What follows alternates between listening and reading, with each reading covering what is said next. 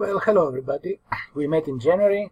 We meet again. I'm very happy to see almost everybody together to continue our journey towards our doctorate. Um, my name is Alexandros Dimitriadis. Uh, I am a professor of mathematics at Polk State.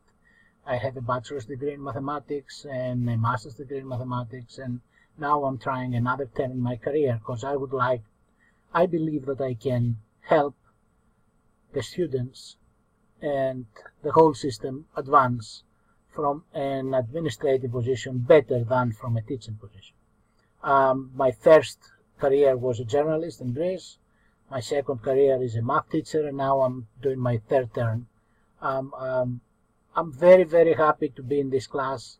I'm very interested in learning about uh, policy.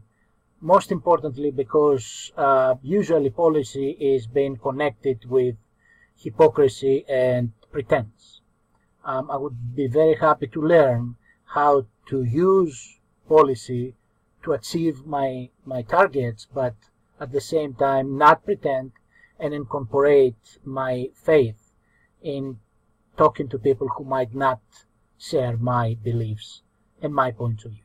So this is a very interesting class for me and I can't wait to um, start learning.